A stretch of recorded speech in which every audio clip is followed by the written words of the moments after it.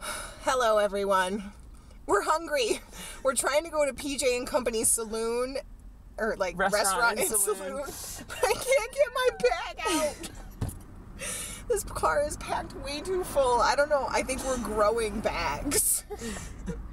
but now my bag is here. It's like 92 degrees out, and we're gonna demonstrate our Tetris failures.